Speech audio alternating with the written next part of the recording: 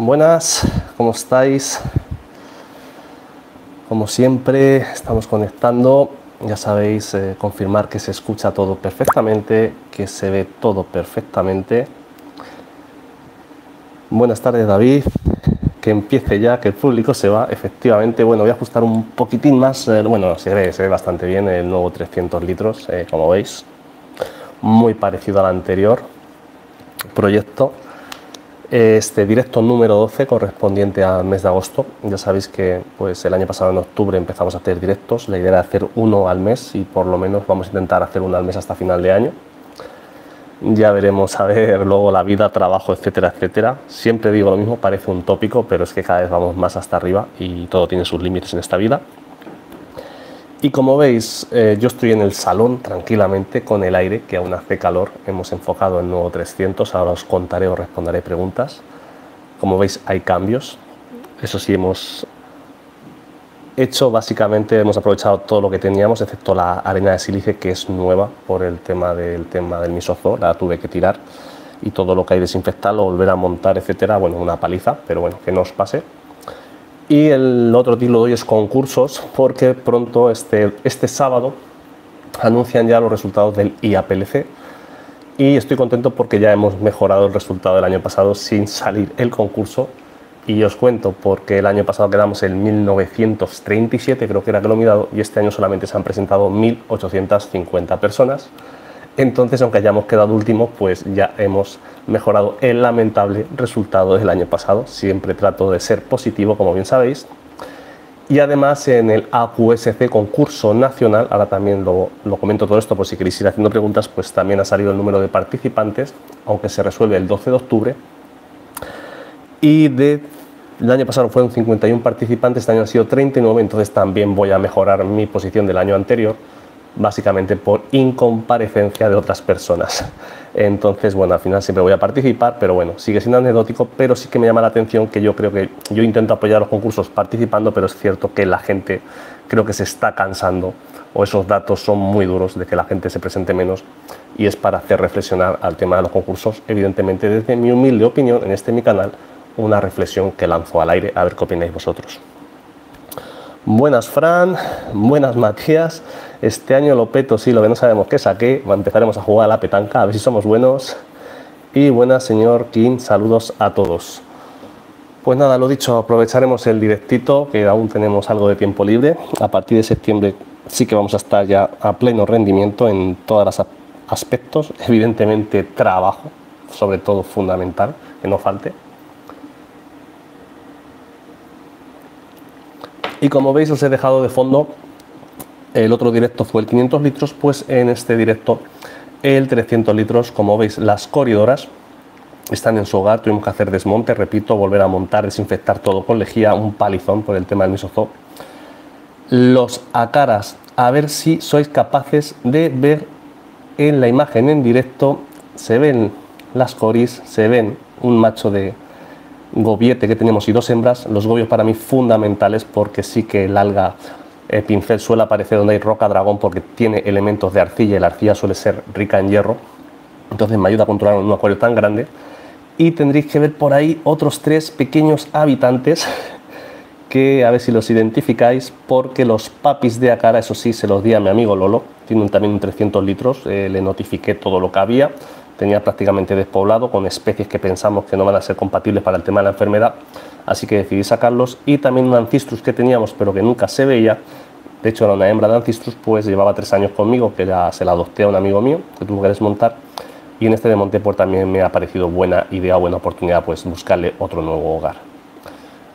Cardumen de neones, desastre total, solo nos queda uno después de la infección del misozoo de ese rebrote, durísimo, lo tengo que contar, compartir con vosotros. Y del cardumen de borrachitos, lo mismo, teníamos 6 o 7, al desmontar quedaban 3 y han fallecido también los 3, no sé cómo les ha afectado el misozoo en este caso, pero ya os digo que, que durísimo. Ya tengo encargado un nuevo cardumen de peces neones, eh, evidentemente me voy a simplificar mucho la vida en este aspecto por lo que hemos pasado de experiencia. Y lo dicho, a ver si sois capaces de ver esos nuevos acaras por ahí, las crías chiquitinas. en este proyecto, que estos sí que estoy seguro que están limpios de la tema del misozoo, porque nacieron en el acuario, eran muy chiquitines, los hemos criado en los ecobotes, como os he ido contando por el canal.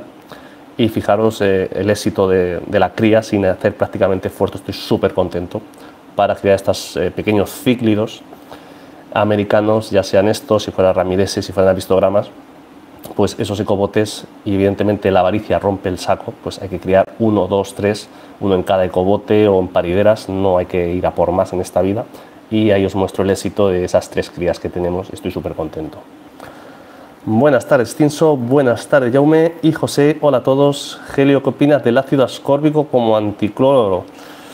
Pues no sé, empezamos ya con los temas de química, pero es que el anticloro al final es tan sencillo como dejar 24 horas. El problema de suponer una sustancia química es que luego no sabes qué contraefecto va a tener.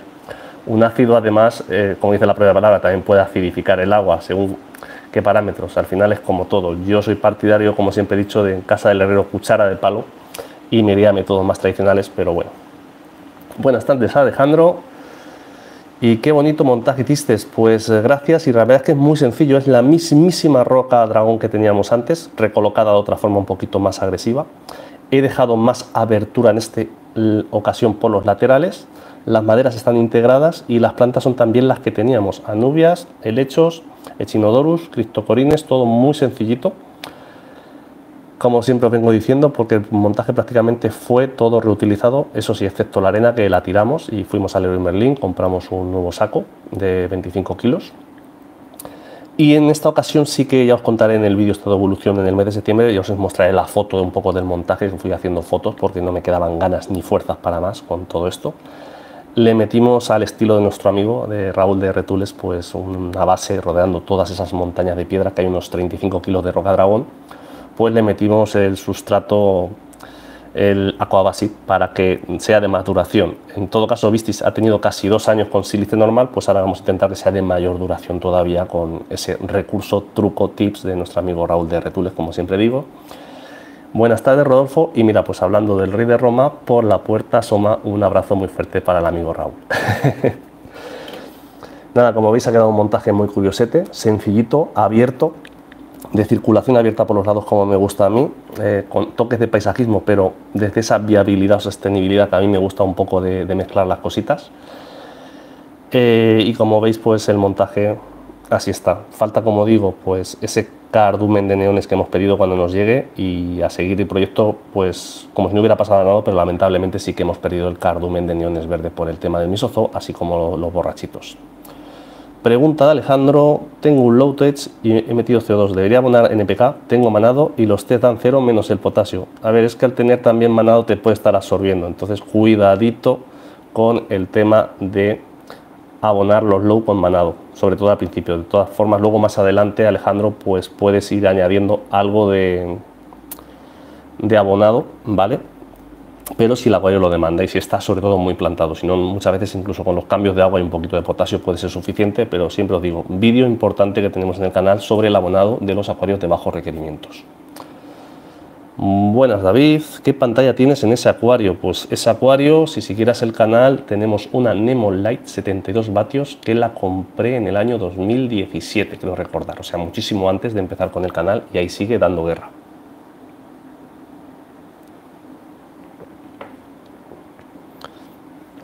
Tinso, tengo una duda. Tengo un 18 litros, un beta con alguna gamba a mano y observo que las anubias tienen una capa desigual como de cal por encima. ¿A qué puede deberse? Puede ser cal o puede ser alguna especie de, si el acuario es montaje es reciente, alguna especie de hongo. A veces también hace como capita blanca, puede ser así. También te digo, Tinso, que sin ver imágenes, pues a veces es más difícil, me puedes pillar. Pero vamos, en todo caso mm, intenta frotar, si sale fácilmente con las manos, pues es eso, pero vamos, no creo que sea precipitado de cal, no creo que tengas un agua tan dura porque si no afectaría a la población de los peces. Parámetros correctos y algo de verdina, si no hago cambio de agua cada semana. Bueno, también puede ser... ¿Cuánto tiempo tienes el montaje hecho, Tinso? Para ver si podemos afinar un poquito más y pues te ha salido buena. No sé, hacemos David lo que podemos con, los montajes, pero sí hemos salido de, buen lío. y aún así eh, estoy seguro al 99,9% de que hemos acabado con la pesadilla del misozo, esperemos. Nunca podemos dar nada por sentado en este hobby, en esta vida, y más con un parásito tan fastidiado y del que hay tan poca información y sobre todo cero tratamiento, que es eh, lo peor de todo a día de hoy. Pues nada, estamos con Coca-Cola de refresquito, a ver si a la mitad del directo un poquito más tarde abrimos nuestro refrigerio, también aprovechando estos días de poca actividad laboral.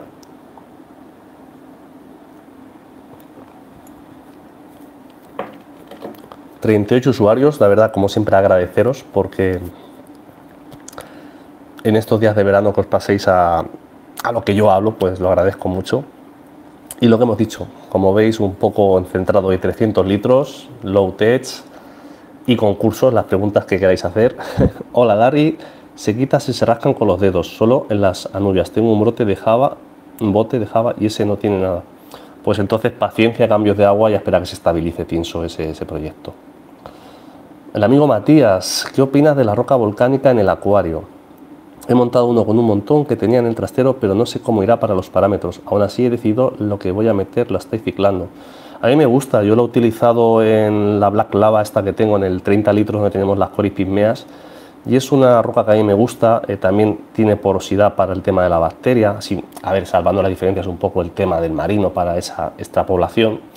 Eh, tiene también propiedades para enraizar anubias o ciertas plantas para el tema de sus minerales, es rica. A mí particularmente es una roca que me está gustando bastante y hace unos contrastes muy muy llamativos, eh, Matías. Me tengo que ir, pues nada, gracias por pasarte. En todo caso, el amigo Jaume, verdina no, pero las hojas de mis anubias se tornan amarillas. El tronco raíz no, pero he de ir cortando. Calores del verano puede ser calores o estrés en este caso, o que le falte realmente algún componente fundamental nitrogenado. Es lo que debías de mirar también alguna vez. Rodolfo, te vi el año pasado que tenías un estanque bastante grande. ¿Qué vas a hacer? ¿Vas a hacer alguna actualización en el canal? Pues sí, es un estanque que, bueno, era una antigua balsa de riego de mi abuelo. Yo cuando era niño, como conté en ese vídeo, pues echamos peces cuando yo tenía 13 años, criaron. Llevan ahí ya 27, 28 años.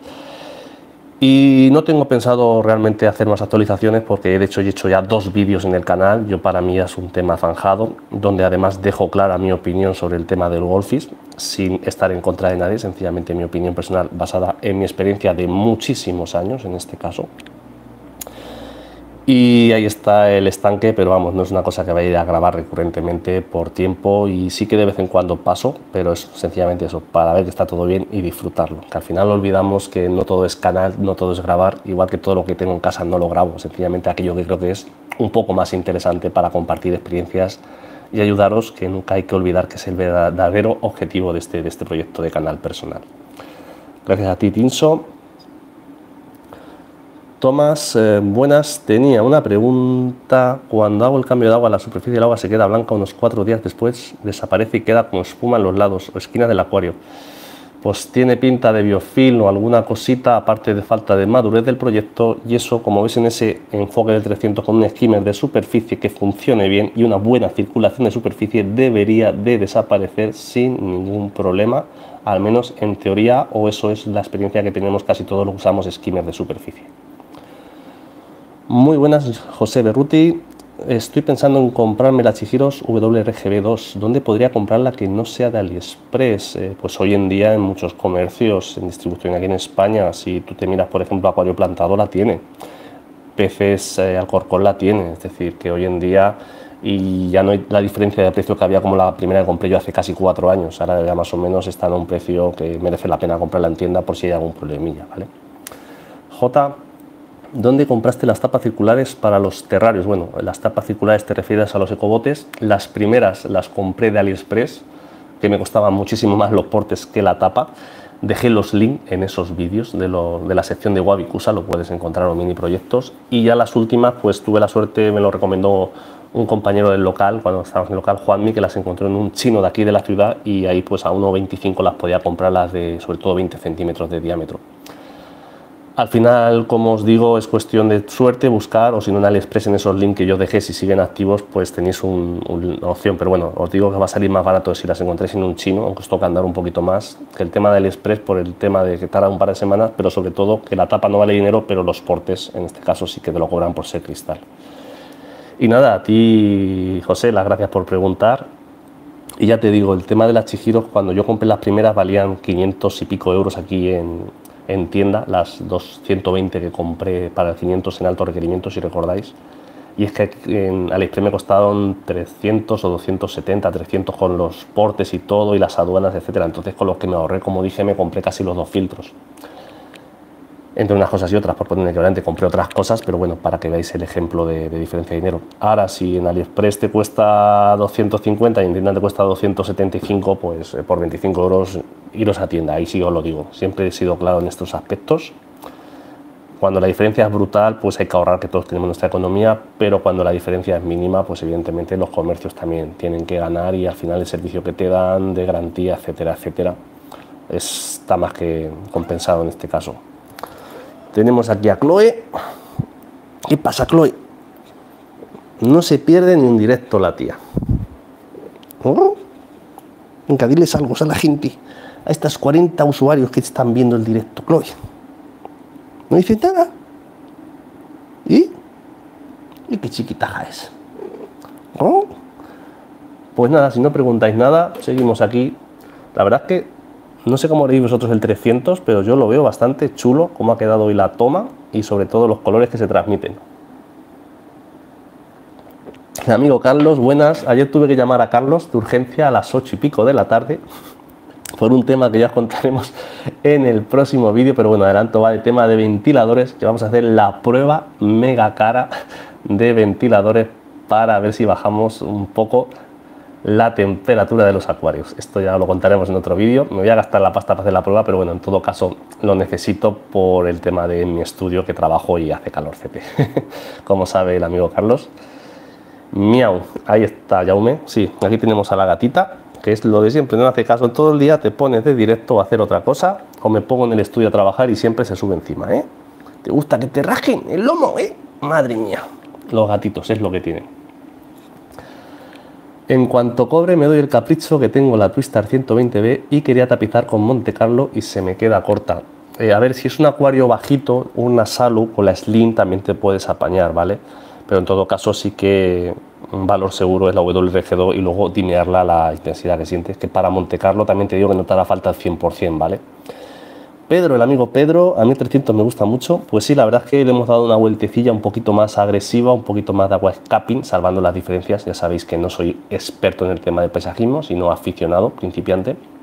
Voy haciendo cada vez pequeños matices, pero sí, la verdad es que con muy poquito tiempo me van saliendo cosas bastante chulas y sobre todo lo que siempre digo, que es que voy reciclando materiales, que es para mí el mayor mérito. De, Veis con lo mismo cómo podemos hacer acuarios que parezcan a veces totalmente diferentes en algunas ocasiones. Rodolfo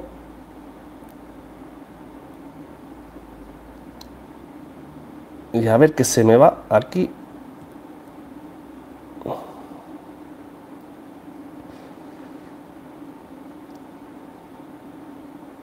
que se me ha ido la conversación. La pregunta me sube el cache del agua. He hecho pruebas poniendo agua de osmosis con la grava, con la roca dragón, que es lo que tengo. Aparte de plantas, puede ser el micromet no, puede ser que esté soltando algo de momento al principio las plantas o el sustrato o alguna cosilla, pero vamos, una cosa es que te suba el cache, tampoco creo que sea mucho, pero bueno, sí que, que tenerlo vigilado sobre todo al principio de los proyectos.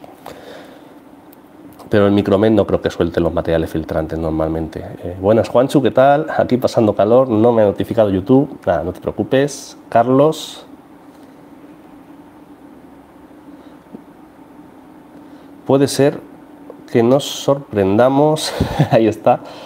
Y David, no sé por qué, se me ha fijado, no sé si me ha fijado arriba una conversación o no, porque estoy tocándole aquí con la pantalla nueva del táctil este que tengo y no me aclaro del todo bien. Sabéis que soy un desastre para informática.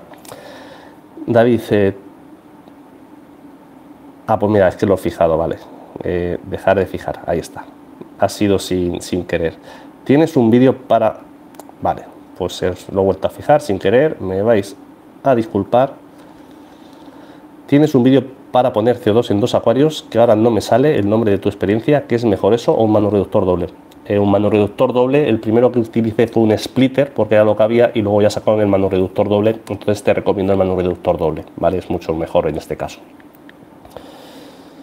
¿Has probado alguna vez el método DSM? Lo estoy probando pero no consigo bajar de 33 la temperatura. ¿Crees que podría tirar así? A ver, en este caso, al no tener peces, cuanta más temperatura, más deberían tirar las plantas y sí que hay un vídeo sobre DSM, en mi opinión, en el canal. Eh, Jaume, lástima, las hojas del fondo se están deshaciendo. Sí, es que al montar y desmontar es lo que tuvo. También tener en cuenta, Jaume, que lo tuve que tratar... Eh, para que os hagáis una idea, con gotitas de lejía para desinfectar, etcétera, lavarlo rápidamente, etcétera. Así un tratamiento agresivo, pero está bastante bien después de la desinfección que le metimos al acuario. ¿Recomiendas la compra de peces online con estas temperaturas? Eh, recomendaría la compra según a quién. Si te lo van a mandar sin ninguna protección, sin sistema de frío, sin sistema de oxígeno adicional, no. Pero, por ejemplo, el otro día que estuve hablando, porque tengo que hacer un pedido a Jorge de Peces Alcorcón, y me dijo que sin ningún problema, que tienen sistemas de enfriamiento, etcétera, etcétera, que los envían por la noche. Entonces, más que si recomiendo o no, es eh, según a quien compres, como siempre en esta vida, un poco la pregunta. Igual que la eterna pregunta de ¿se pueden montar acuarios en verano? Pues como habéis visto, yo este verano he montado tres. Se puede montar todo siempre que estemos pendientes y estemos a cargo de las cosas. Lo que no puedes hacer es ni en verano ni en invierno montar un acuario e irte un mes de vacaciones. Lo que siempre digo que impede el sentido común en esta vida.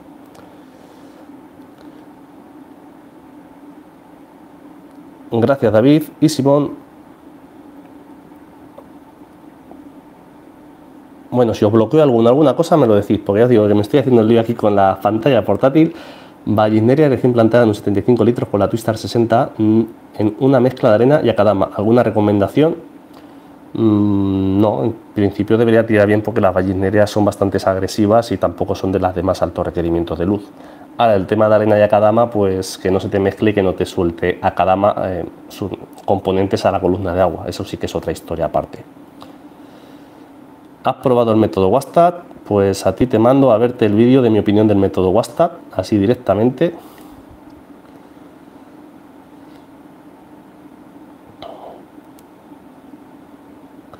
Saludos de Colombia. Una pregunta, ¿utilizas pastillas para enraizamiento? No, no utilizo nada de todo eso. Y Simón, acabo de llegar y te he preguntado una cosa que tenía ganas, pero me acabo de dar cuenta y ese 300 nuevo. ¿Qué tal los peces con el misozoo? Pues el misozoo mal, los peces han muerto el cardumen como he comentado antes y he tenido que rehacer el montaje de urgencia con los mismos materiales como hemos dicho antes.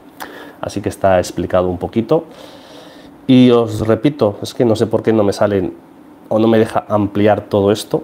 Si alguno os sale o o no os contesto, me lo decís hoy, porque ya os digo que intento ser esto, pero la tecnología me salen solamente dos mensajes y tengo que ir moviendo de arriba abajo, entonces intentaré ir contestando poquito a poquito.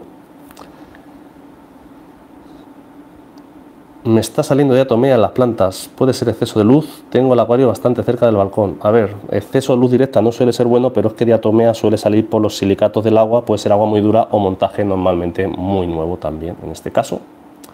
Eso ya lo hemos hablado también muchas veces.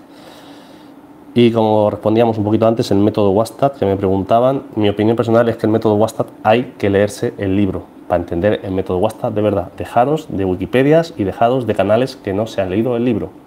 Leeros el libro. El método WhatsApp es otra cosa. Es planificar, saber lo que se hace y lo puedes llamar WhatsApp, con filtro sin filtro, con CO2 sin CO2, pero es saber lo que se hace. Esa es mi opinión, como ya sabéis en este canal. Simon, qué fastidio lo de los peces y más con la currada que te metiste. Mucha suerte con él. Pues sí, la verdad es que después del trabajo que nos pegamos, al final no ha valido para nada. Bueno, para nada, nunca en esta experiencia, en esta vida de experiencias que no valgan para nada. El trabajo está hecho, lo que hemos aprendido está. Y al final, pues eso, pero sobre todo que no os pase y sobre todo, pues al final, componentes de mala suerte. Por suerte, lo positivo, Simon, no sé si verás por ahí dos o tres pequeñines azulones, son los hijos de nuestros acaras. Entonces, en esta experiencia, incluso así, con todo lo malo, hemos sido capaces de aprender a criar cíclidos enanos. O sea que intento sacar lo positivo de cada experiencia. Y como veis, ahí los tengo y los disfrutaré. Y esto sí que es una línea limpia de mi sozo porque la he criado aquí en casa. Pedro, ¿qué tal la almendra después del desastre del año pasado? Pues este año por lo menos había almendra, cosa buena para el campo. Estuve el fin de semana ayudando un poco en la familia, tema familiar. Y nada, la verdad que este año pues un poquito más contentos porque sencillamente al haber cosecha es bueno para, para mi familia en este caso. Yo no vivo de eso, pero en mi casa sí, son de campo y hay que apoyar y, y todo suma. ¿Qué pastillas de abono recomiendas? Mm, yo en realidad no recomiendo tomar pastillas de abonado. Yo soy de hacerme mi propio abono y le echo un chorreón en los cambios de agua. Entonces, como te digo, no te voy a recomendar cosas que, que no utilizo de por sí, así de claro, como siempre digo. Y como digo muchas veces, que tampoco, como os he contado al principio de este vídeo, este acuario debajo lo hemos metido Aqua Basic. Cuando las raíces llegan allí no tendré tampoco que abonar, ya tiene el sustrato o los nutrientes ahí metidos y me dejo de abonados. Y a veces es casi más barato que estar preocupándote de estar abonando, de estar removiendo, etcétera, etcétera. Como siempre digo, más que recomendar es, os recomiendo planificación antes de hacer nada, que suele ser lo mejor.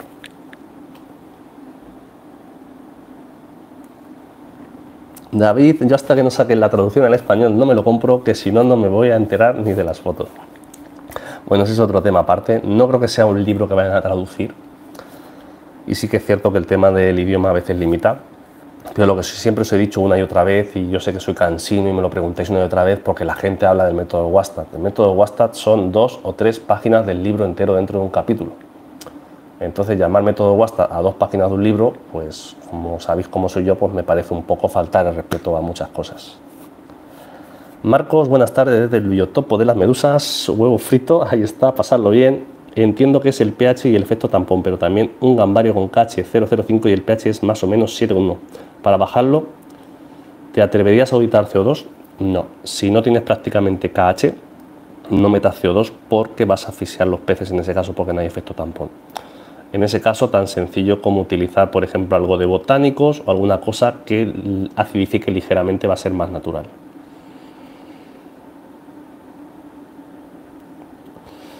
En un 20 litros con un mini filtro tipo Blau FM está un beta y dos japónicas con un caracolillo. Pues ahí están.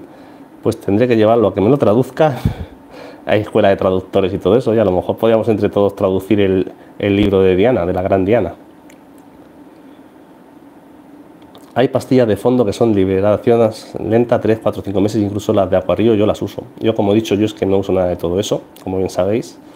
Entonces no voy a hablar de lo que no tengo experiencia, como bien sabéis, puedes opinar, opinar opinamos todos, pero hay que ser claros a la hora de decir si es opinión o experiencia, para que no queden dudas.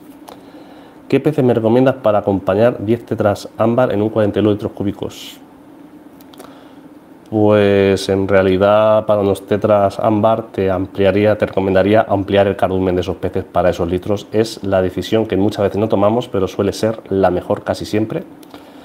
Y a lo mejor pues ponerle de fondo 5 o 6 eh, coris abrosus en este caso, que son más chiquititas. Rodolfo, ok, gracias nada a ti. Rocker, buenas, aquí en sintonías. Yo estoy estudiando también inglés, pero espero saquen la versión en español del libro de Diana, así entiendo mejor. Yo creo que es algo que no se va a sacar de momento, pero bueno, como siempre digo, al menos yo no. ¿Conoces canal MD Fistan? Tiene muchos acuarios con muy buena calidad, muchos de ellos sin filtro ni cambios de agua. Supongo que hay métodos que son solo para gente con gran experiencia. Lo conozco, no lo sigo porque como siempre digo es que no tengo tiempo y yo por ejemplo eh, no me hace falta hacer eso. Yo tengo mis ecobotes donde no tengo filtración tampoco. Tengo microfauna y son los que he utilizado si de verdad siguieras el canal como has visto la experiencia que al final es lo mismo en menor espacio, todavía más complejo. Están totalmente impolutos y es lo que he utilizado para hacer sacar adelante las crías de cara por ejemplo. Entonces, más que experiencia o no, repito, planificación y estudio. No ponernos a hacer las cosas porque lo hemos visto por ahí y nos ha dado envidia, no. Hay que saber por qué se hacen las cosas, por qué funcionan y eso es un encanto y parte importante de este hobby y lo que nos acerca muchas veces a tener una alta probabilidad de éxito en los proyectos que iniciamos. Como siempre digo, esos son mis consejos y eso es lo que yo hago, lo que llevo a la práctica y lo que os comparto a través de lo que decido grabar en el canal. Y luego, como siempre digo, también esto es entretenimiento y cada cual que haga lo que considere, que al final yo solamente soy responsable de lo que yo digo y lo que yo hago en este, el proyecto de canal personal. Y Coca-Cola. Ahora iremos a por un refrigerio.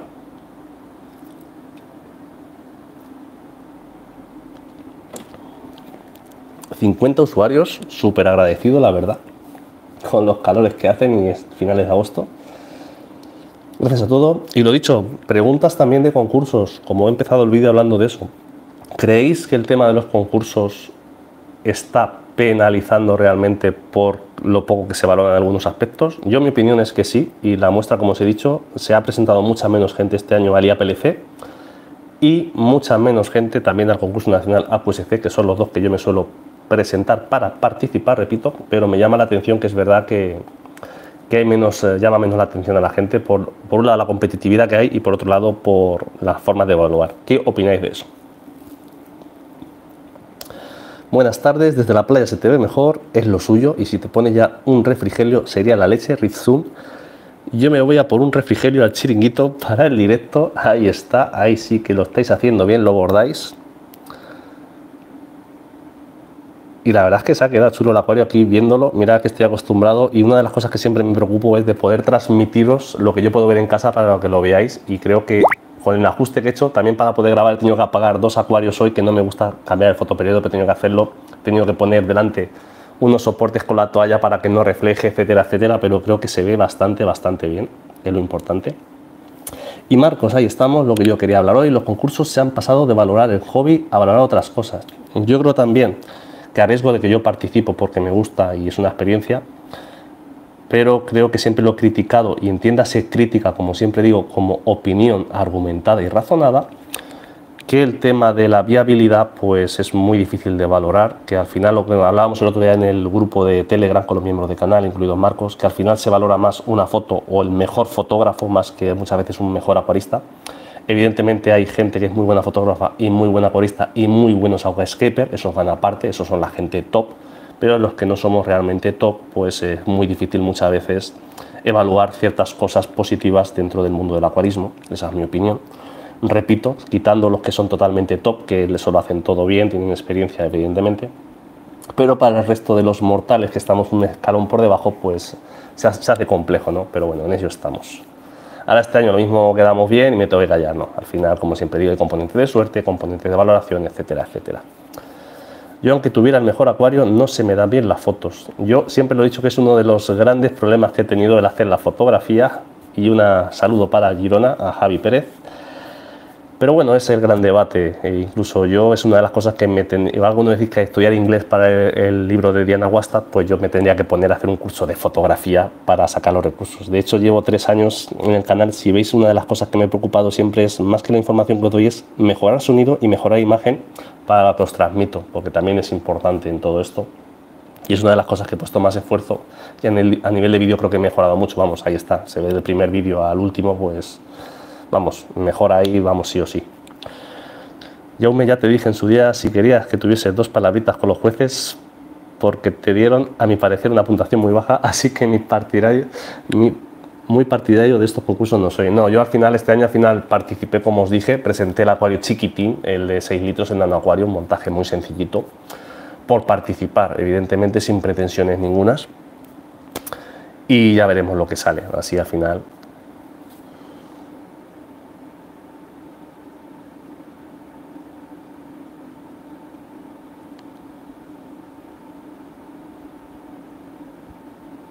A ver, que no me salte ningún comentario.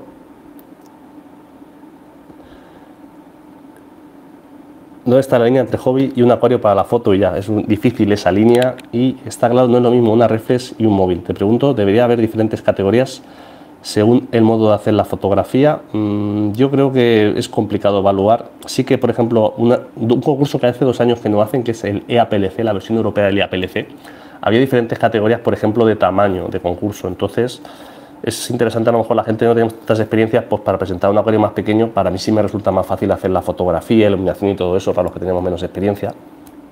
Pero bueno, es complicado. A ver si vemos tu acuario y el Brazilian de Paco en el mismo concurso estaría muy bien. Eh, sí, el, el, Brazilian de Paco, a ver si lo vemos todos. De hecho, me voy a acercar un día aposta la semana que viene a su casa a verlo, que también tengo yo curiosidad ya. buenas tardes, amigo Josep. Y John, muy buenas. El analizador nitrato fosfato que está en, proyecto y en el que estás metido, piensas que saldrá al mercado y de ser así, ¿cuánto piensas estará? Eh, ya está en el mercado, de hecho, se puede comprar, pero de momento está en fase experimental también. Es complejo, pero al final son proyectos de startup que se llaman las empresas que necesitan financiación y yo sencillamente, como dije, muy agradecido de que me contactasen y de ayudarles en el desarrollo. La semana pasada estuvimos hablando con ellos para el tema del potasio, por ejemplo Y la verdad es que para mí tiene, me, ha, me ha escrito mucha gente, me ha llamado la atención. Hay cosas que me han hecho preguntas que directamente he tenido que derivar al director de proyecto porque evidentemente hay cosas en las que no me voy a meter. Yo sencillamente intento hacerlo mejor, pero sí que me parece interesante. Como dije, caro a día de hoy, pero como todo, si al final lo hace todo y lo hace bien y se mejora un poco el precio, es un juguetito muy, muy apetecible para mucha gente, para aficionado con mucho acuario, para profesional, para gente que tenga tiendas, etcétera, etcétera. Incluso para industrias de análisis de agua, etcétera, etcétera. Ya os digo que tiene muchas aplicaciones, pero como todo, pues hay que trabajar y estamos trabajando en ello os dejo que me quedo sin batería y Marcos, yo me he decidido al audiovisual y tenemos un dicho, lo que marca la diferencia es el indio, no la flecha. Saber sacar todo el potencial del móvil es mucho más importante que un pedazo de cámara, pero en automático.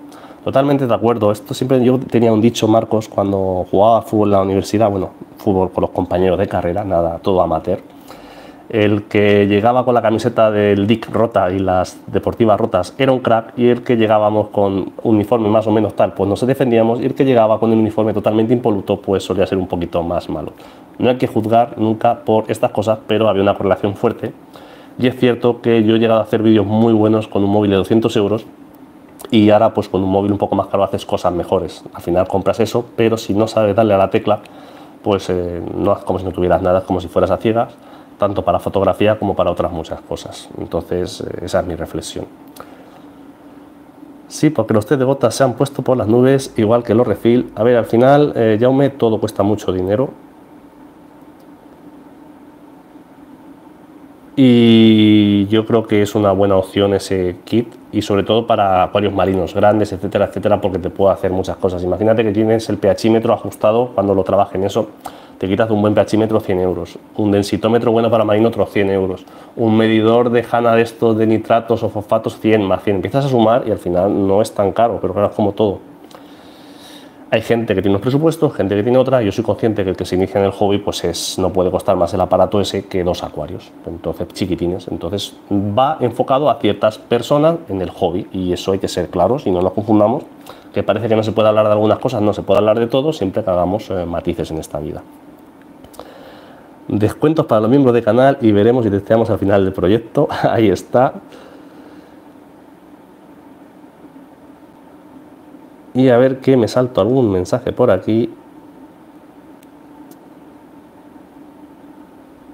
Muchas veces yo creo que los peces están en un acuario menos cuidado, sin tanta poda y abonado, CO2, etcétera, etcétera. Bueno, están mejor en un acuario menos cuidado. A ver, yo sí que me gusta cuidar. No está, para mí Simon no está con reñido cuidar con que esté mejor o peor. Lo importante es que los parámetros sí que estén bien.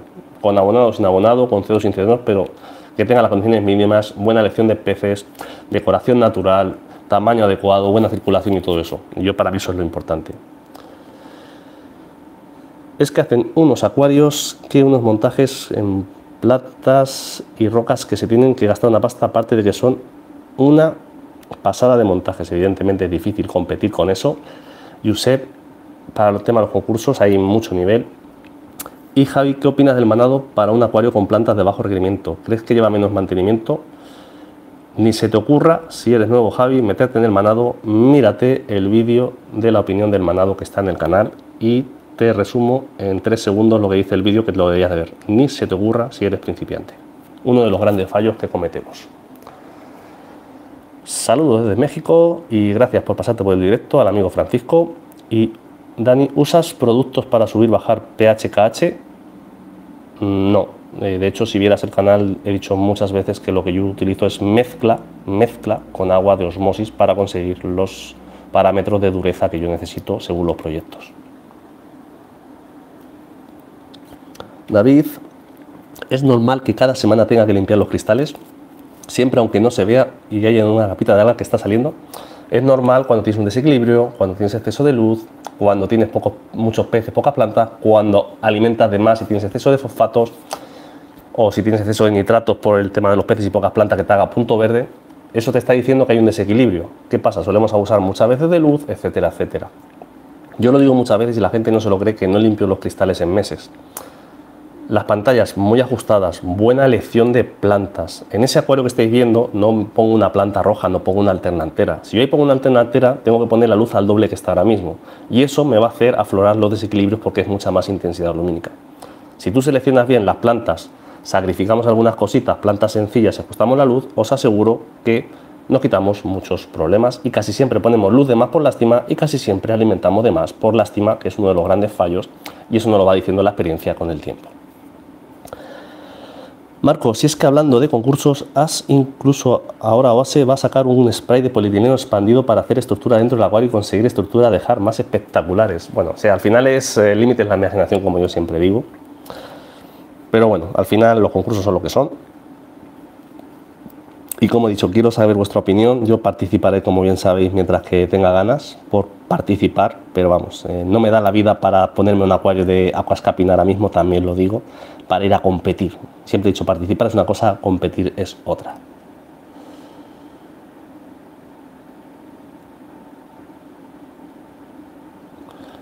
tengo ganas de ver el seguimiento del acuario de los conchícolas con agua dura, pues muy prontito, ya están los peces decididos y todo eso, pronto lo veréis y cómo se hace con otras marcas genéricas, pero el acceso al hard, que es caro de narices y así marca mucho la diferencia para concursar. Sí, la verdad es que son cosas, eh, es un mundo aparte y sabría decir así un más o menos a qué porcentaje pondrías en ese acuario una Twistar Serie B. Eh, difícil, difícil porque no la he medido, nunca he tenido. Yo tengo la serie C, la serie C sí que se aproxima bastante a una Slim, la serie B no sabría decirte, pero seguramente tendrías que poner cerca del 80 o 100% y ahí me iría más a una Slim, por ejemplo, al 40% que poner una de esas al 100%, por rendimiento, por regulación, por calidad de luz, etcétera, etcétera.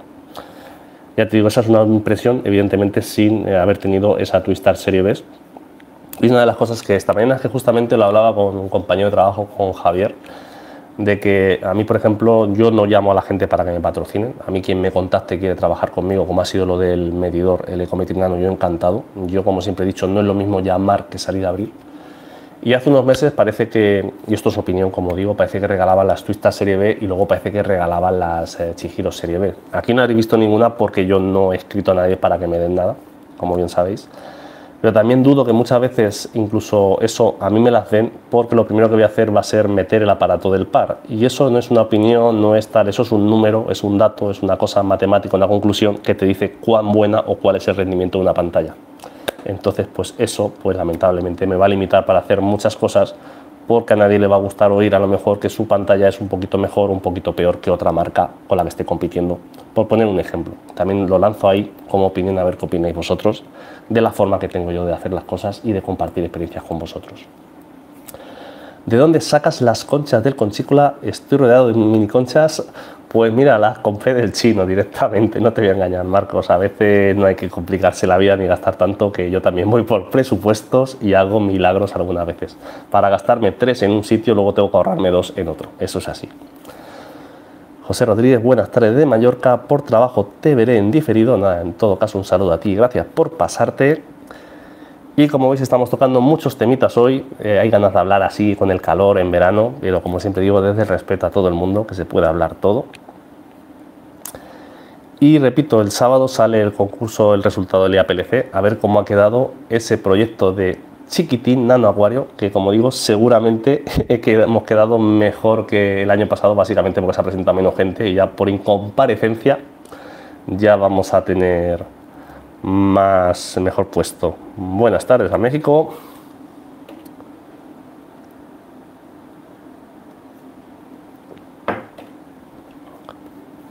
La arena es sílice del Leroy o Sansíbar de JBL.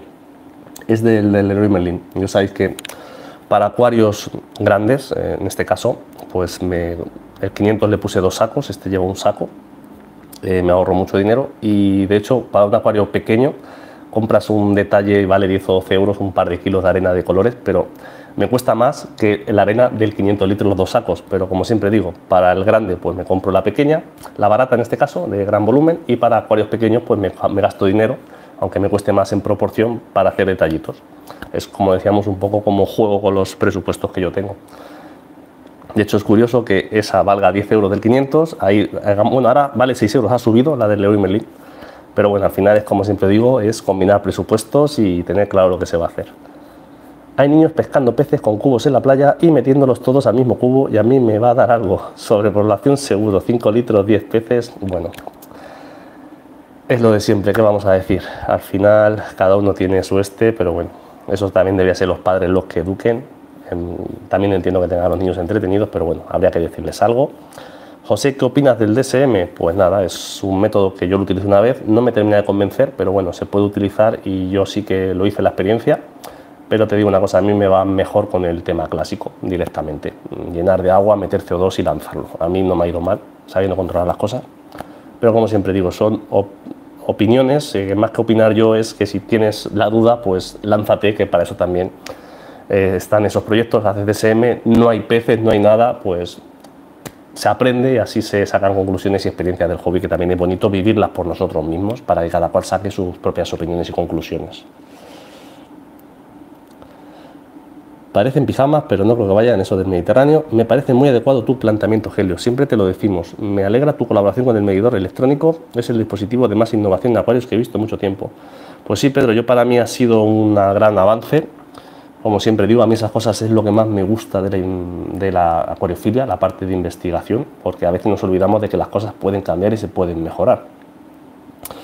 Y también es cierto que a la gente le cuesta aceptar los cambios algunas veces, pero bueno, yo lo tomo todo desde el punto de vista del hobby. Yo para cosas así mi predisposición está siempre, igual que para, como siempre digo, no me vendo. Yo siempre he dicho, repito una vez más, como he dicho antes, no lo mismo llamar que salir a abrir, que lo hago yo, pues estoy en mi casa pero sí que colaboraciones que a mí no tengo no me importaría colaborar por el bien de los productos, por dar una opinión desinteresada o por que salgan mejores para el tema de los consumidores, donde yo también soy consumidor de productos, que son a veces se olvida, pero no. Yo también estoy ahí en ese, en ese cajón.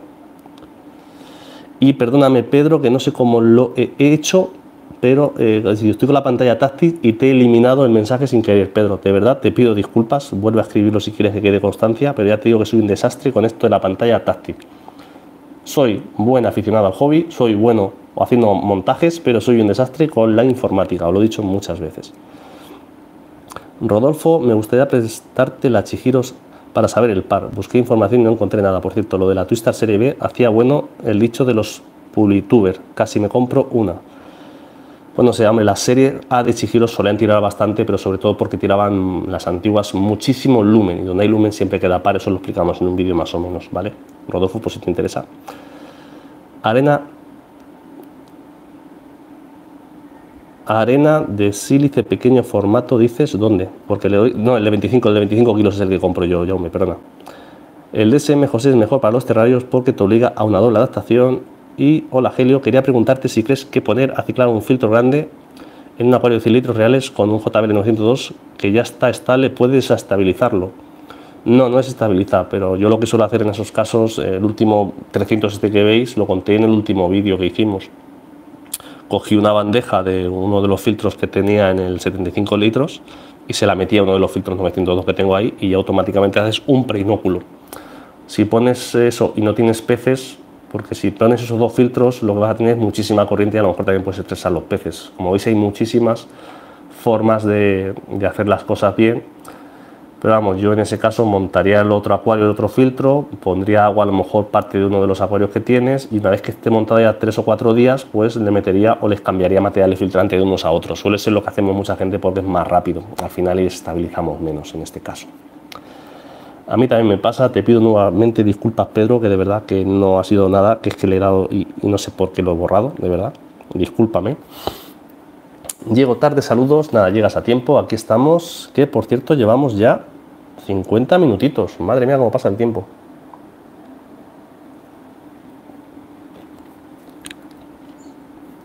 Nada, también deciros, en principio este fin de semana no he hecho vídeo, no he hecho vídeo, no he tenido tiempo. También, bueno, no he tenido tiempo. Eh, como siempre se dice en esta vida, hay tiempo para lo que uno quiere y estado un poco desconectado. Entonces he preferido descansar y por eso hemos hecho también el directo hoy.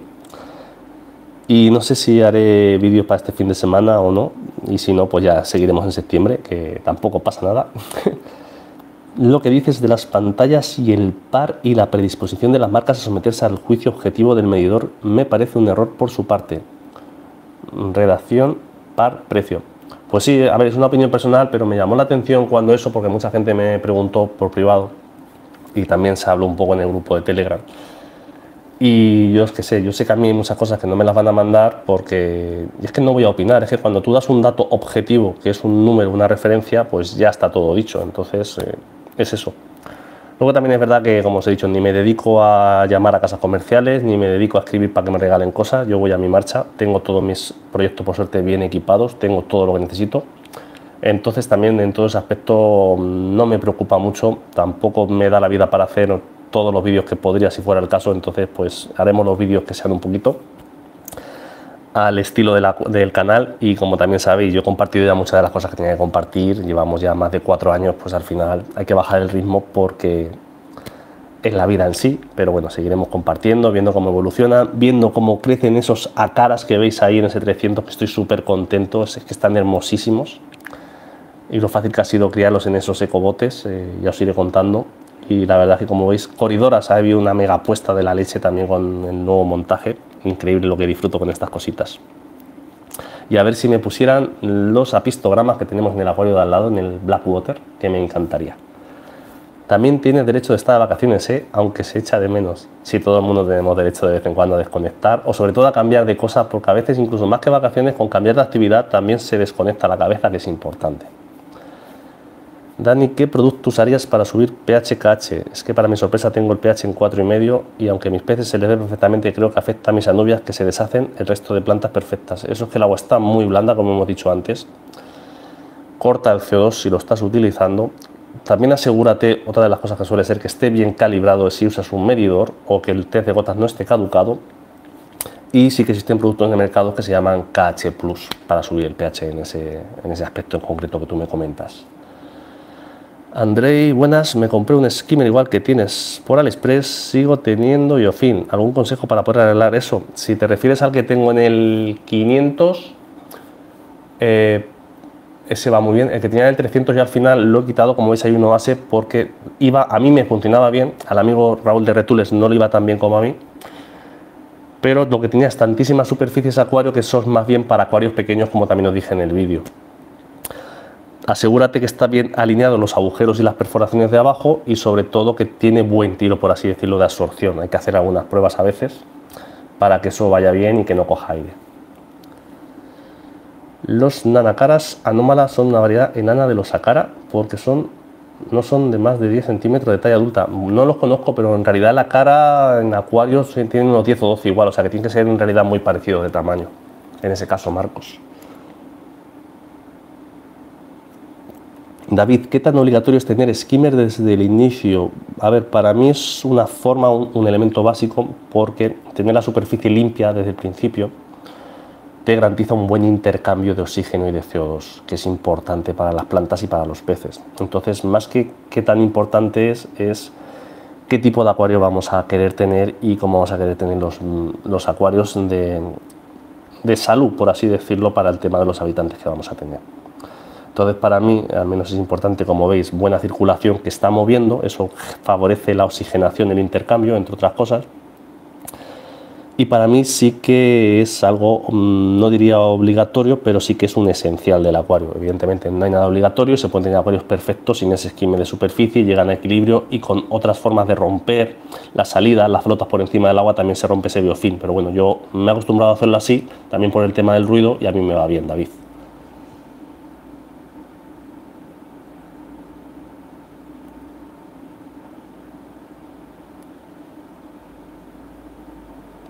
Y a ver que no pierda las conversaciones.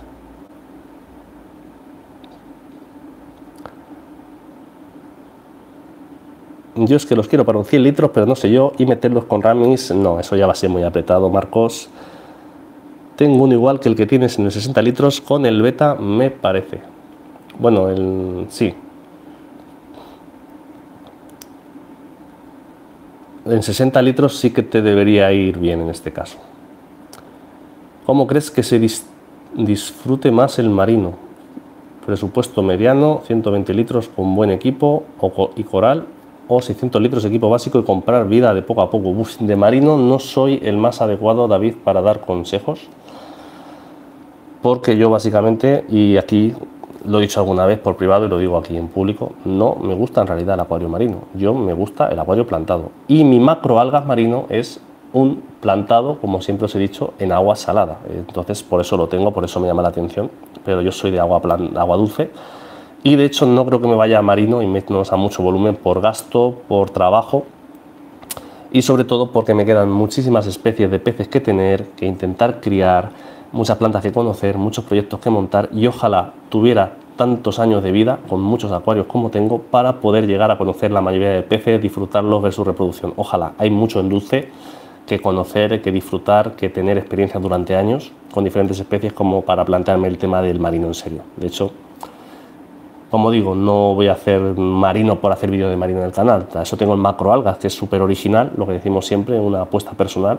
Y me ha encantado la experiencia y sigue. Pero también os digo una cosa, el macroalgas está destinado para mí a pasarlo a dulce, sobre todo eh, cuando terminemos, eh, lo voy a dar de margen hasta que terminemos con el desarrollo del ecometrinano, que entonces lo necesito en casa, pero una vez que terminemos con esa colaboración, el macroalgas, eh, haré un lote, si alguien lo quiere me escriba, lo vendo, lo que es lo que hay dentro, corales, piedras, algas, eh, bombas de circulación, etcétera, y yo me voy a mis acuarios plantados, que a mí es lo que me gusta. Y de hecho, lo que decíamos antes de los cristales, mm, yo tengo más experiencia en dulce, no limpio cristales. El marino, sencillamente tener que limpiar con la rajeta los cristales toda la semana, a mí ya me toca las narices, por así decirlo, porque estoy acostumbrado a no tener que hacer esas cosas. Entonces yo soy feliz con plantados, con especies, hay especies para en acuario que disfrutar, hay, ya os digo, multitud de cosas que me quedan de conocer. De hecho, hay muchísimas variedades de peces, etcétera, etcétera, biotopos y muchísimas cosas que os digo, no nos daría la vida entera si hacemos los proyectos bien y los peces hacen su vida completa con muchos acuarios para disfrutar todo lo que hay en agua dulce a día de hoy.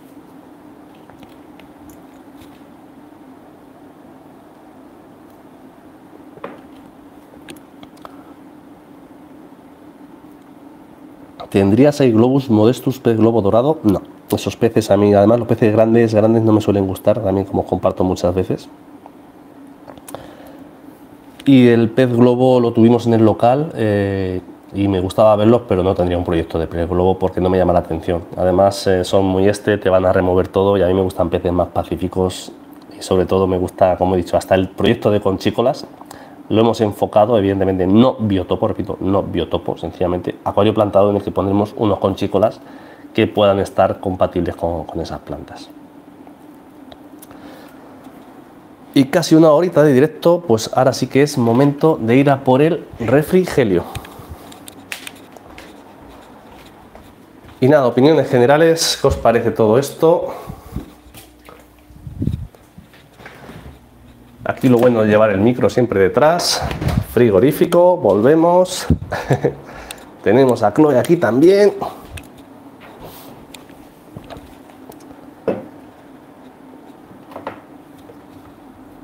Y nada, lo dicho, este fin de semana, como no sé si, como os he dicho, se haré vídeo. Estoy pendiente de ver cómo quedamos con el IAPLC. Yo digo que quedo un 900 o así. Sobre 1850, ¿qué opináis vosotros? Venga, se aceptan apuestas, sobre todo entre los miembros de canal. A ver, nos jugamos luego algo. Yo digo que sobre un 900. A ver qué dicen los miembros de canal por aquí y luego por Telegram lo vamos viendo. Y también los demás podéis participar a ver la posición. Recordad que mi mejor posición fue un 730 y algo, creo que fue hace dos años. Ese vídeo que he dejado al principio de intro con el 500 litros, que quedamos 738, 750 y algo, creo que fue.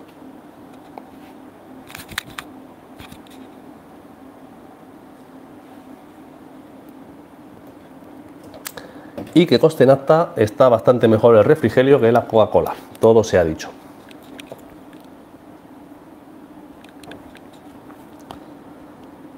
Y además, mira, estoy viendo el WhatsApp, tenemos WhatsApp del amigo Matías que nos ha mandado foto de su proyecto que nos ha comentado en este directo con la roca volcánica. Y la verdad es que está guapo, guapo Matías, también te lo tengo que decir, con ese filtro Gretz 500 ahí, la verdad es que muy guapo el acuario.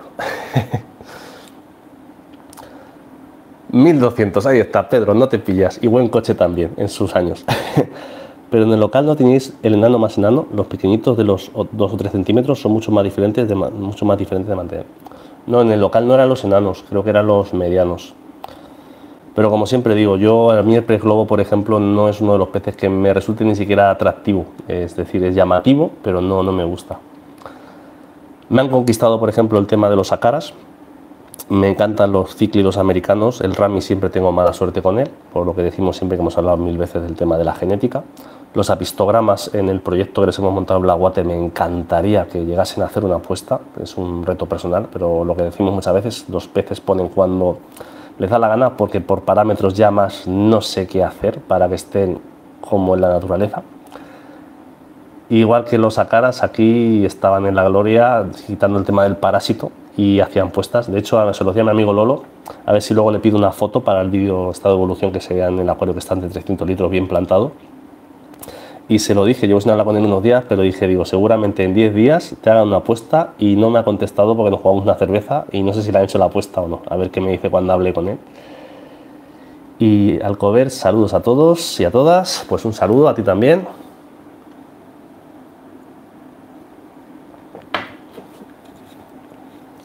Y nada, como veis, pues lo de siempre.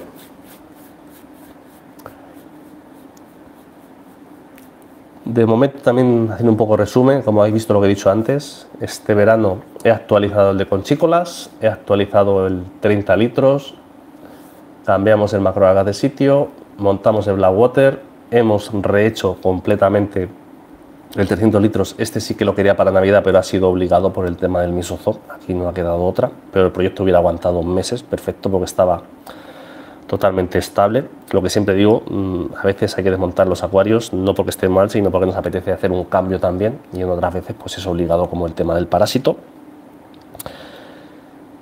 Y he montado otro chiquitín que tenía por ahí la urna, ya lo enseñaré, pero bueno, a ver qué hago ahí. Pero sobre todo la idea es tenerlo también para generar microfauna, por si tenemos alguna apuesta más de los acaras estos cuando crezcan, o de alguna pistograma, etcétera, etcétera, que me he dado cuenta que es que me facilita muchísimo ese tipo de proyectos para criar esos dos o tres pececitos. No se trata de criar muchos, se trata de criar unos poquitos para tener o poder decir orgullosos que, como en este caso, en este 300, que esos acaras pues son criadas en casa. Marco, creo que al final el tema de la reproducción lo incitan los buenos parámetros, pero también las pequeñas variaciones en esto simulando las estaciones para motivarlos. Efectivamente, cambio de temperatura, de dureza, de pH relacionados con la dureza del agua, todo eso a nivel natural, claro que estimula o, hace de alguna forma cambiar o inducir a los peces a saber que es la época de reproducción. Evidentemente, pues hay un complejo estudio detrás de lo que es la dinámica de cada pez, las etapas de reproducción, etcétera, etcétera. De hecho, me estuve leyendo hace poco un libro de reproducción y sí que es cierto que cuando cambia el pH, pues normalmente cuando baja el pH es que está lloviendo más o las épocas de lluvia, ese cambio de pH induce crecimiento, estimulación de los órganos eh, sexuales de algunas especies y eso los lleva a la reproducción. Como veis, está todo programado según la naturaleza para que hagan o, ellos sepan identificar dentro de su reloj interno cuándo es la mejor época para reproducirse. Que la naturaleza, como siempre decimos, pues es sabia, ¿no? Conozco un método para incitar la apuesta de estos cíclidos. Bueno, yo los sacaras cuando los he tenido, esos son hijos, como veis, o sea que no he tenido que hacer nada, pero sí que hay, hay truquillos como todo, como acabamos de comentar, por tema de variaciones de parámetros, etcétera, etcétera, para simular esos cambios estacionales que en los acuarios pues, suelen ser más estables que lo que es la propia naturaleza muchas veces.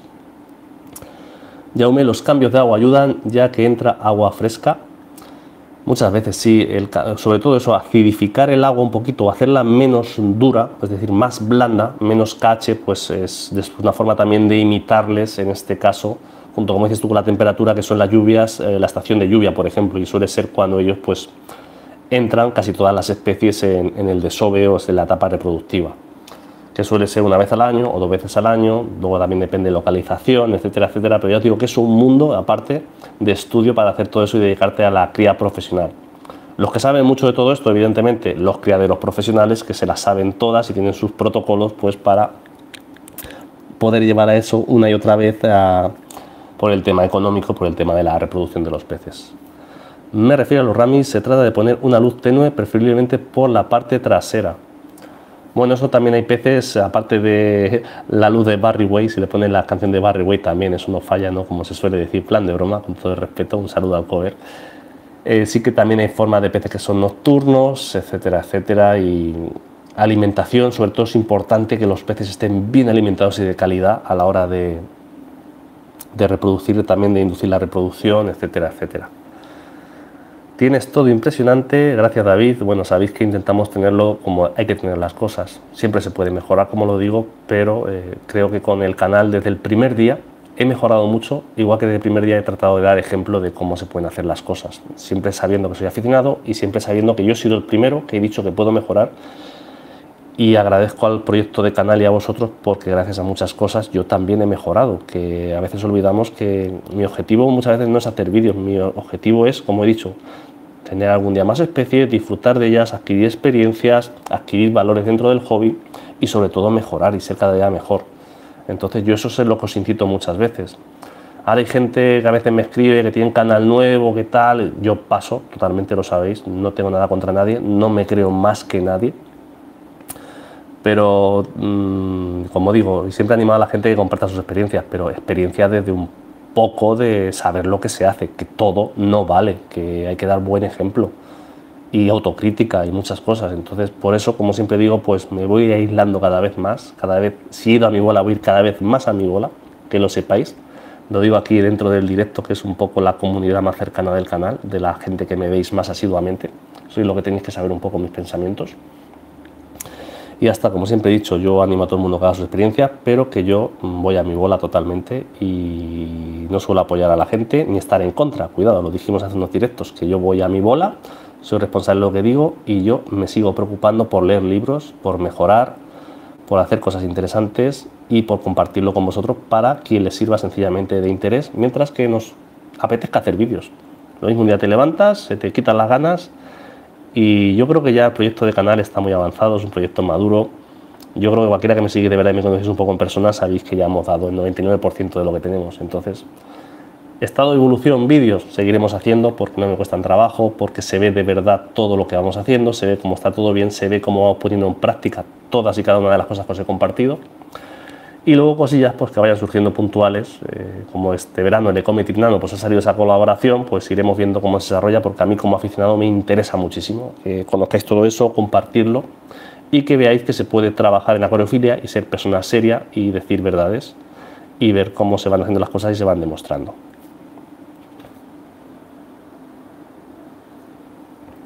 Maribel, las corridoras paleatus no me paran de poner huevos y he conseguido recogerlos y subirlos.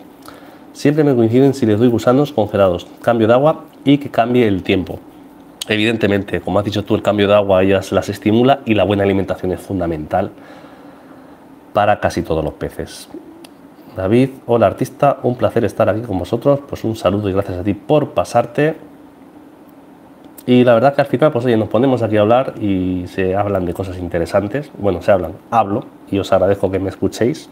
Pero bueno, todo esto es motivado por vuestras preguntas a veces y cosas que también a veces hay que compartir del hobby. Como he dicho, el sábado cuando salga lo de IAPLC, si quedamos bien, pues os haré un post en Instagram para compartir la posición. Bueno, si no me cabreo como el año pasado que quedamos casi últimos. y las tengo en acuario plantado de 60 litros. Sí, al final las corridoras son muy agradecidas para todo eso. ¿Me has leído? Claro que he leído. ¿Y qué opinas del antialgas aptX Fish de H2R? No puedo opinar porque no lo he probado. Creo que sí lo probó Raúl de Retules en su día y creo que también lo hizo, creo, creo, no estoy seguro 100% que hizo vídeo Paco.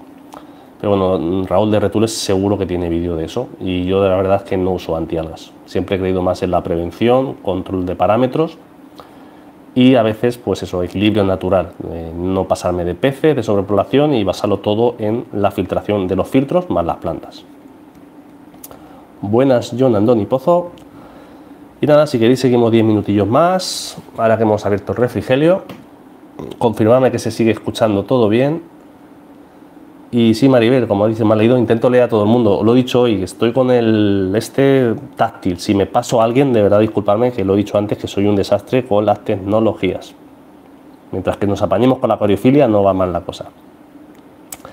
Los ancistrus igual, desde febrero llevo cuatro puestas. Los ancistrus sí que suelen poner, mm, reproducirse, son animales muy fáciles. Sí que es cierto también que si los tienes en ese 60 litros para ancistrus, en este caso es poco espacio en Maribel. Yo me iría más espacio o tanques específicos de crías. Hay mucha gente que se dedica a criar ancistrus y son peces que sí que requieren espacio un poco, pero sobre todo agua muy limpia, muy limpia porque son animales que es curioso, son ensucian mucho por el tamaño que tienen, pero son peces que requieren de calidad de agua y agua muy limpia.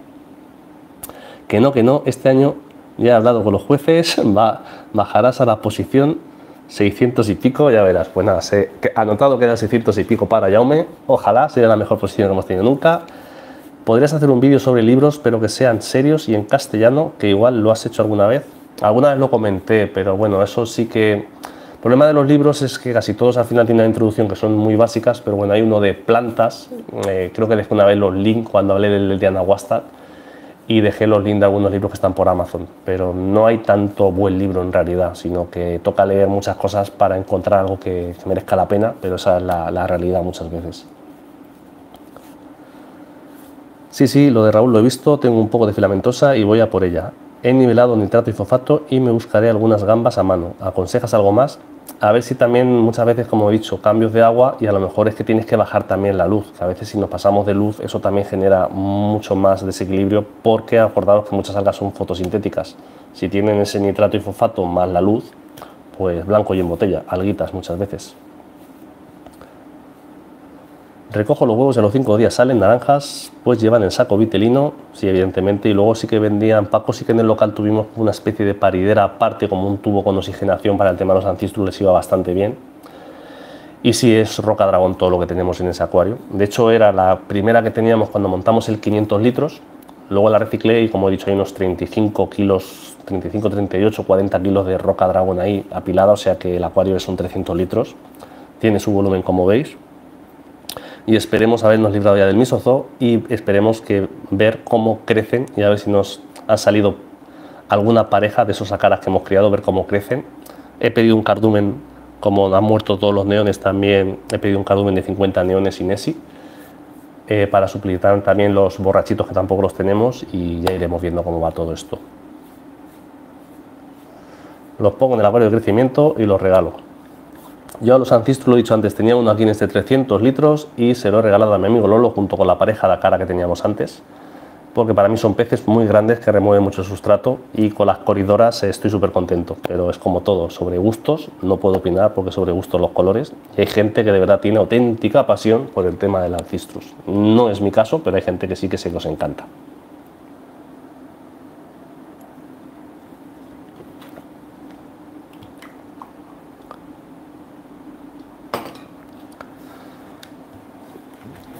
Y nada, pues como veis, aquí seguimos. Seguimos unos minutillos más. Tengo a Junior subido también encima de la mesa al lado del ordenador, acercándose al calorcito. ¿eh? Como está el aire puesto, se acerca al calorcito del ordenador. No saben a los bichos. Buenas tardes a todos, espectacular ese nuevo montaje. Gracias, Carlos. Y ya está y acuarios canarios, las pantallas son dos chijiros. No, esa es una Nemolike, lo hemos dicho antes en el directo, que la tengo ya mucho antes, pero mucho antes de empezar con el tema del canal. Es una pantalla que a mí estéticamente me gusta muchísimo, me gusta muchísimo más que las Chihiro, súper slim, súper finita, pero se quedaron muy estancados y luego la segunda versión que sacaron mm, no me convencía para nada las programaciones que llevaban. Y es verdad lo que siempre digo, esa pantalla la tengo, la amortizaré mientras que pueda lo mismo tienes 6 o 7 años, pues un día me levanto, se ha fundido, pues te pondré una Slim, pero de momento a disfrutarla.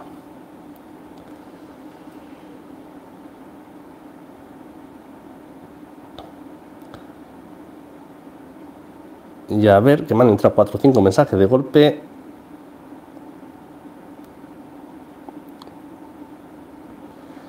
No soy ningún experto, pero eclosionaron los huevos de los discos escalares ancistrus compuestas. Otras cosas es sacarlos adelante. Efectivamente, Rodolfo Langostino, después de tu experiencia con el bicho, ¿de cuánto recomiendas la cuarentena de peces de fuera?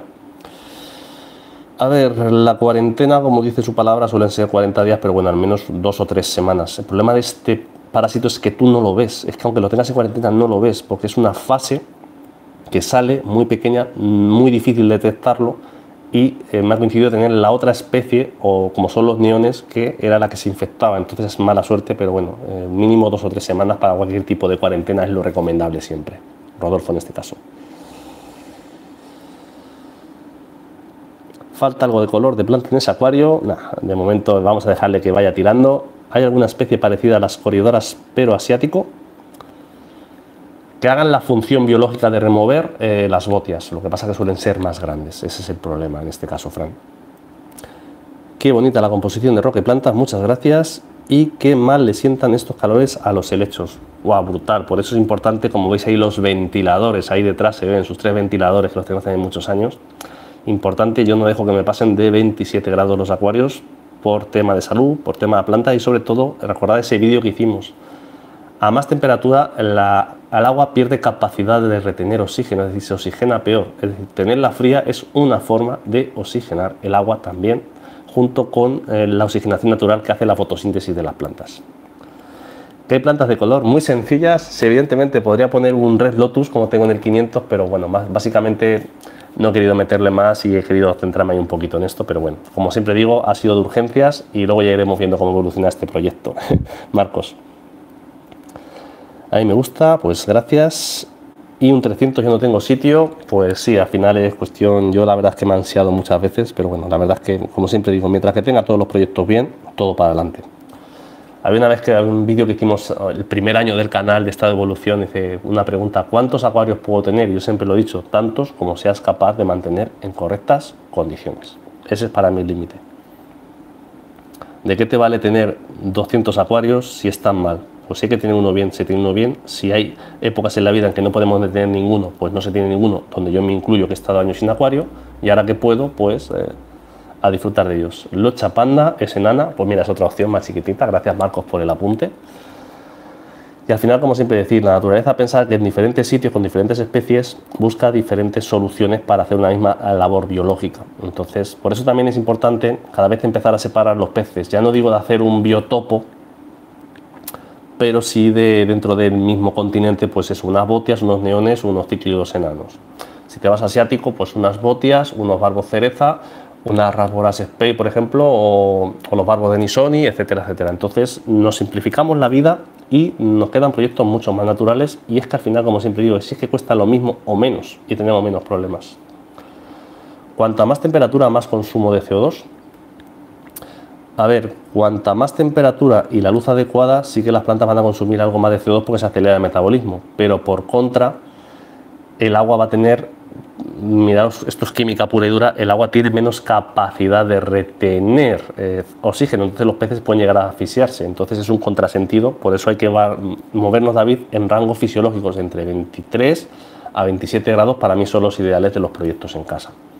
Hablo abanico, habrá quien te diga 22, habrá quien te diga 28, pero por decir algo, más o menos no salgáis de ahí. Un acuario a 30 grados me parece una locura en realidad. Tened en cuenta que el agua a 30 grados tiene, creo que era justamente la mitad de capacidad de retener oxígeno que a 22 grados, para que os hagáis una comparativa. Y da igual que le pongas un oxigenador, el agua no es capaz de retenerla por temas químicos, por temperatura. lo pones, lo tiras una vez que está saturada, con punto de saturación máxima, es la mitad a 30 que a 22, creo recordar como sustituto asiático digo, ¿vale? Estas plantas que tiene este acuario son de bajo gasto, sí son de bajo gasto, pero yo igualmente uso CO2 en todos los acuarios Maribel, que creo que llevas poco tiempo en el canal, como he explicado muchas veces, porque es una forma que tengo de acidificar ligeramente el agua, que son parámetros mucho mejores para los peces, que suelen ser de agua ligeramente ácida, tanto los asiáticos como los sudamericanos en este caso, o amazónicos por así decirlos. En asiático, igual que las corridoras, el Julis. Los Julis sí, pero los Julis que son, se hacen muy grandes en realidad. A mí no me gustan, pero sí que también hace esa función de remover. De remover, que no de alimentarse de la suciedad, repito. Eso es también importante tenerlo claro. Los peces no se alimentan de suciedad. Remueven el fondo en su labor de buscar comida y eso es una actividad fisiológica, pero no se alimentan de suciedad. No os confundáis nunca ahí. En verano intento mantener 27 y ya me parece alto. A mí igual, pero bueno, a 27 he encontrado un equilibrio que más o menos los tengo muy bien. Gracias a ti, Maribel y Rodolfo. Yo los peces los tengo de todos los lados. Tenía tres platis, se presentó mi suegro con cuatro alequines, que los iba a tirar y mi último fui a comida a la tienda, estaba cerrado y me regaló cuatro coris. A ver, yo siempre lo he dicho, a mí me ha pasado alguna vez que yo sé que algunos, eh, me ha pasado una vez con un suscriptor, nos ha pasado hoy Fernando, le mando un saludo si luego ve el directo. A mí gente me ha ofrecido peces y yo a veces he tenido que decir que no, porque parece que es un desagradecido, pero es que me he dado cuenta que me hago un problema que muchas veces no tengo. luego voy yo, compro los a caras y me hago el problema yo solo, por mala suerte, como explicamos en ese vídeo. Pero en realidad a veces hay que saber decir que no, a veces hay que saber, porque lo mejor para los peces es eso, es una buena planificación, el volumen adecuado. Y es como siempre, yo ahora mismo pues eh, me queda un neón, como he dicho, un neón verde que no se lo puedo dar a nadie por si está infectado y me queda un Eller de lo que cuando desmontamos todavía el local, si os acordáis que han pasado ya 16 meses, se supone que hay un año lo tengo 16 meses. Pues los tengo por ahí en una acuariete que voy a montar chiquitina ahora para sencillamente que terminen su vida es una responsabilidad que tengo, pero dentro de eso ya no me van a quedar más cargos y como siempre digo, no suelo coger peces porque es que te hacen un problema en realidad y, además como he dicho antes, a través del canal intento dar buen ejemplo, entonces pues tengo que hacer esos sacrificios para que la gente vea que se puede hacer así, que, que todo el mundo queremos más, pero a veces más no es mejor. Yo vengo muchas veces hablando de que a veces menos es mejor, una forma diferente de pensar, pero como siempre digo, lo demuestro en el canal y lo veis viendo en los propios acuarios. Guppies no tengáis, eh, bueno Maribel, se pueden tener guppies Eller, pero una cosa que hacemos es meter la hembra. Si nosotros, por ejemplo, tenemos solo guppies o Eller macho, hacen un cardumen muy llamativo para los proyectos, pero solo hay que tener los machos en este caso para evitar esa plaga. Igualmente cualquier animal vivíparo, cualquier pez vivíparo, pues son, son no es que sea plaga en realidad, es que sino que son fáciles de criar y como fáciles de criar, pues solemos hacer plaga, los tenemos en acuarios pequeños, sobrepoblamos, etcétera, etcétera. Son los problemas de eso que también igual te digo son peces encantadores, y cualquiera que se en el hobby, compra un pez y ve la primera apuesta, pues se enamora de la cría de los peces, pero porque falta muchas veces información de compañeros, alguna otra especie que te controle esa población, etcétera, etcétera, pero sí que es un mundo interesante el de los vivíparos. Yo en mi caso pues me centro más en los ovíparos porque la reproducción es algo más compleja y para mí es un reto mayor, como por ejemplo cuando criamos los barbocerezas, sin ir más lejos.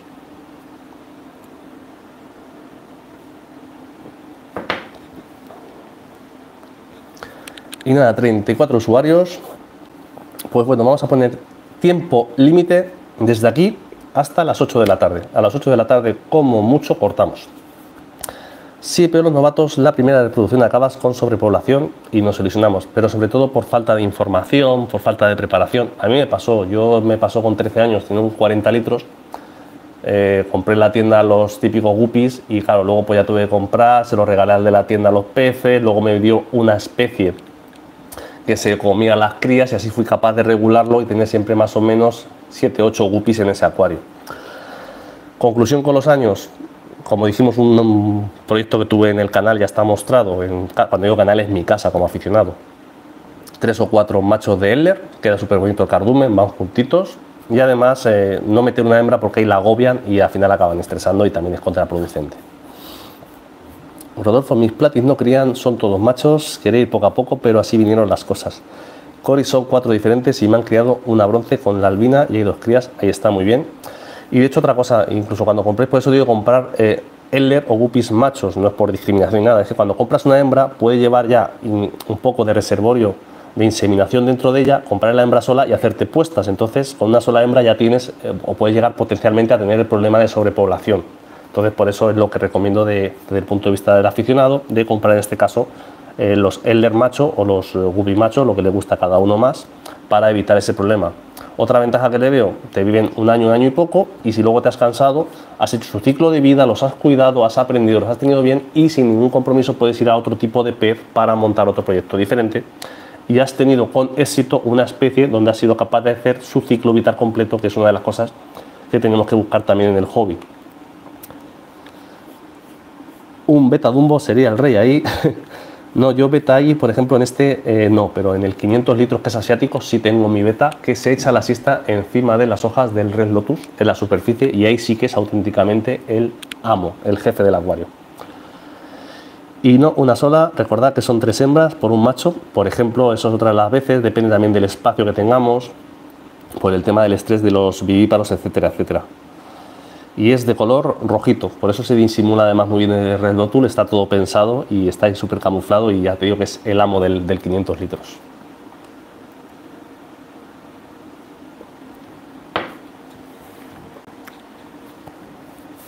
Pues nada, 5 minutos máximo,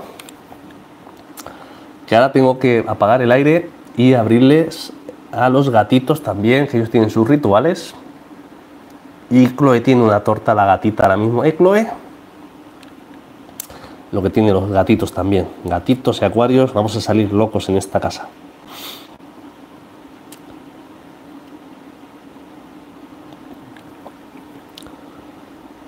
Pues nada, si no hay más preguntas, yo estoy contento con el directo del mes de agosto. En septiembre intentaremos hacer otro, casi a finales. Y poco a poco, pues como siempre os digo, iremos compartiendo experiencias. Eh, como he dicho en principio, no va a haber vídeos este fin de semana, a no ser que quedemos muy bien en el IAPLC y me dé una locura y grabe algo por la noche, que ya sabéis todos que no va a ser el caso. Haremos, volveremos con un par de vídeos resúmenes estado de evolución a partir de septiembre y lo que nos vaya surgiendo. Como sabéis, si aquí en casa somos unos bichillos, la jefa y yo, eh, acaba de romper el mito de que un beta no está bien en acuarios grandes. Bueno, eso ya lo demostré cuando hicieron un vídeo que tengo, la apuesta que hizo el beta en el 500 cuando teníamos de altos requerimientos, en de burbujas y intentó dar la acuario cuando tenía con dos o tres hembras pero no es mito en realidad, es que cada proyecto es un mundo y hay que saber lo que se está haciendo. Eso es un poco el enfoque, Rodolfo. Yo, si me dices que te estás iniciando en el hobby, te digo un 20 litros para un beta. Entonces, como veis, todo depende de muchos factores, que no hay una, regla escrita, que cada cual es un mundo, como siempre digo. Nosotros acabamos de conectar el aire en Barcelona, no se puede respirar. Yo aquí igual, si no fuera por el aire, no estaría tan cómodo en este directo. A ver si me uno y me apunto dudas, que sabes un montón. Bueno, gracias, Maribel. Se intenta, como he dicho, compartir experiencias. Saludos a todos. Adiós a Jaume, buenas noches a todos y yo creo que nos ha quedado un directo bastante apañadito en estos calores del mes de agosto. Y Juan a dar como yo con dos grados más, ahí está. ¿Betas con Brigitae? No, con peces muy pequeños no pondría betas. Yo los pondría con peces un poquito más grandes. Aunque lo ideal es, como hemos dicho, tenerlos solos o otro tipo de proyectos, como siempre os digo. Pero bueno, lo dicho, directo te ha quedado bastante bien, creo. Se han tocado muchos temas, como siempre sabéis, para cerrar desde respeto a todo el mundo y opinión diferente. Sencillamente, pues aquí expreso mis opiniones con todo respeto a todo el mundo, como sabéis los que me seguís desde el principio o desde hace bastante tiempo. Si os tengo que mandar a ver un vídeo, os mando con toda confianza, que es donde va a estar la buena explicación y seguimos respondiendo preguntas. Y antes de cortar, pues eh, como siempre os digo, espero haber respondido a todos, porque con esto de la pantalla táctil, si me he saltado alguno de verdad, os pido disculpas nuevamente. Dicho esto, muchísimas gracias por vuestro tiempo, por pasaros, que tengáis buena salida del mes de agosto, el que esté de vacaciones, y nos vemos en el próximo vídeo en el canal. Y ahora ya para despedirme, me vengo aquí al 300, apagamos y nos vemos en el próximo vídeo. ¡Hasta luego amigos!